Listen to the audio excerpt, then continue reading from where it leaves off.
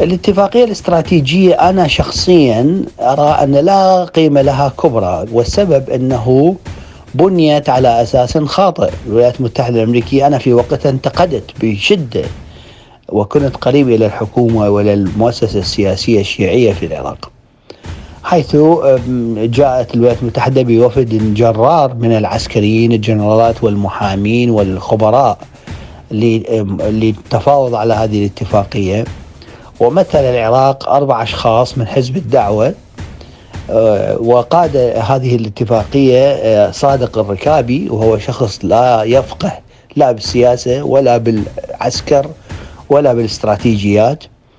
وعزلت وزارة الخارجية والدفاع وكل الدولة وأصبح اتفاقية ما بين أربعة آه، لا يفقهون من حزب الدعوة و, و وبين الأمريكان. لذلك اتفاقية ظهرت بمظهر ضعيف ومهلهل وحتى لم تكتسب الشرعية الكاملة في في العراق لأنها لم تعرض على مجلس النواب ولم تناقش بشكل واسع وكانت أصبحت باتفاقية حزب الدعوة مع أمريكا وهذا كله بسبب قلة فهم حزب الدعوة وصغر يعني يعني قله فهمهم في السياسة والعسكر و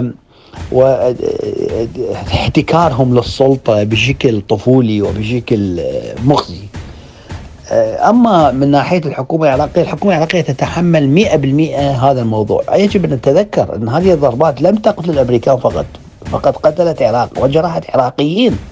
في كيوان جرحوا اثنين عراقيين، في ضربة سابقة على المنطقة الخضراء انقتل عراقي.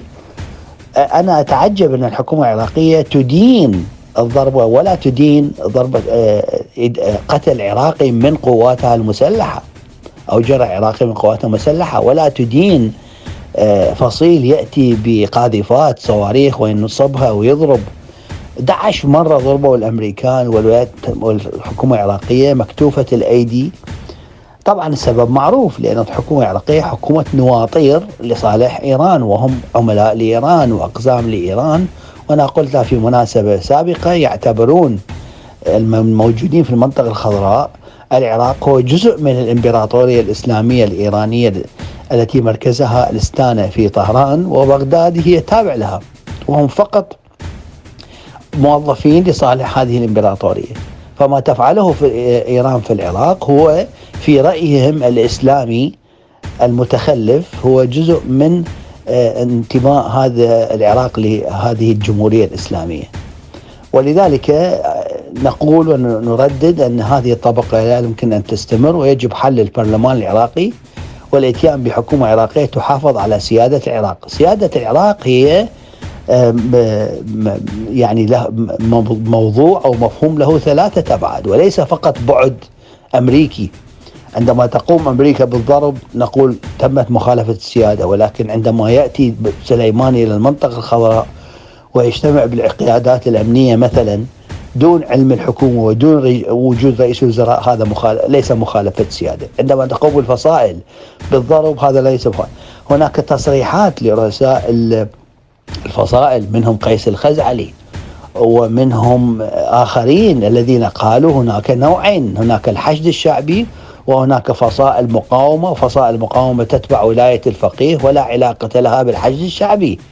فكيف هذه السيادة؟ كيف يمكن لأي بلد أن يكون فيه فصيل عسكري يتجول في الشوارع ولديه مقرات وداخل بالحكومة يأخذ راتب من الحكومة وتمويل وهو ولاءه إلى طرف خارج العراق؟ آه الولي الفقيه خامنئي وليس فقط رجل دين هو رجل سياسة. فكيف يمكن لفصيل عسكري في بريطانيا أو في في المغرب أو في مصر يكون ولاءه إلى دولة أخرى خارجية؟ هذا قمة مخالفه السيادة، فإذا تكلمنا عن مخالفة السيادة يجب أن نبدأ من إيران التي تستعمل أرض العراق لضرب الأمريكان. ولا ننسى أن العراق تستخدم لضرب السعودية ضرب ضرب في منتصف الشهر الخامس على المنشآت النفطية السعودية والتخطيط لضرب دول أخرى. فلذلك السيادة العراقية ليس فقط منتهكة بل مسحوقة من قبل إيران والرد الأمريكي جاء فقط للدفاع عن النفس وهو أنا أعتقد في منظور العسكري وفي المنظور الاستراتيجي مسموح به ومقبول وشكرا.